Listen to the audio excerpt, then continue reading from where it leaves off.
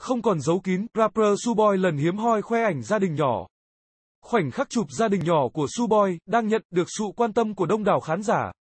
Suboy vốn là người rất kín tiếng trong chuyện đời tư. Chính, vì vậy, những khoảnh khắc bên gia đình của nữ rapper đều được khán giả săn lùng và mong muốn được công khai. Trong khi cô quyết giấu kín những bức ảnh riêng tư, mới đây bạn trai lại hé lộ bức ảnh ấm áp chụp cả gia đình. Bài đăng của bạn trai Suboy nhanh chóng nhận được sự quan tâm của khán giả. Qua ảnh, nữ rapper tự tin, để mặt mộc và biểu cảm nhí nhảnh bên cạnh ông xã. Nhiều người cho rằng, dù đang trong thời gian ở cũ, nhưng bà mẹ bỉm sữa vẫn giữ được nét tươi tắn, body thon gọn đúng chuẩn gái một con trông mòn con mắt. Đặc biệt, trong bức ảnh còn có sự xuất hiện của con gái Suboy. Có thể thấy, dù bé mới chỉ hơn 2 tháng tuổi, nhưng khá bụ bẫm, dễ thương, và đáng yêu. Không những thế, bé còn thừa hưởng nhiều nét đẹp từ cả bố lẫn mẹ. Được biết, bạn trai của Suboy có tên là Noti Nguyễn.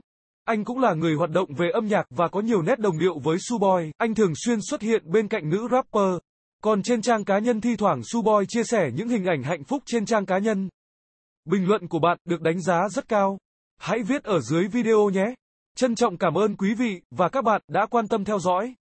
Xin hãy cho một lượt thích, chia sẻ và đừng quên bấm nút theo dõi kênh xin chào và hẹn gặp lại.